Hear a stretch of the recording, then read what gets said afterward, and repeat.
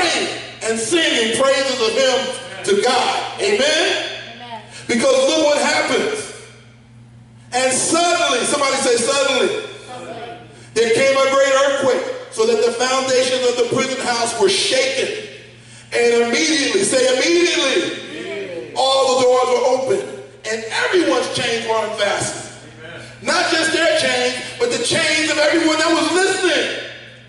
Amen. See, people are going to be saved because you, because of you, because of how they see you responding to the trouble, because of how they see you praising God in the midst of your turmoil, because of how they see you praying and not giving up and staying in faith. They're to, people are going to be saved because of you.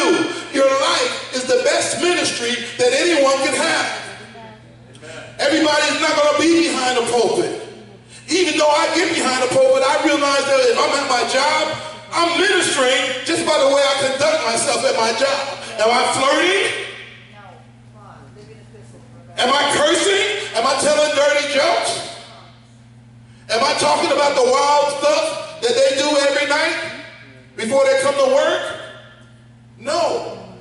Because I wouldn't be ministering to them like that. How could I do that? Get behind the pulpit. But I'm what, I, what God wants you to know today, your life is a ministry, amen? Your life is a walking epistle. You're the book of Ephesians. You're the book of Romans. You're the book of Hebrews. Amen? You've been saved to praise, to glorify God. Not only in what you say, but the way you live. Not only by the way you live, but the way you handle the situations and circumstances. Amen? So I just want to I just want to pray right now. Let's pray right now and give God some glory. Amen? Hallelujah. Come on, pray. Lift your voice. Lift your voice. Give him some praise. Give him about two minutes of praise. Give him about two minutes of praise. Thank you, Lord. Praise you, Lord. We glorify you, Lord. We magnify your name, Lord. Forgive us, Lord. Forgive us, Lord, that we don't praise you the way we should. Forgive us, Lord, that we don't glorify your name in the midst of our circumstances.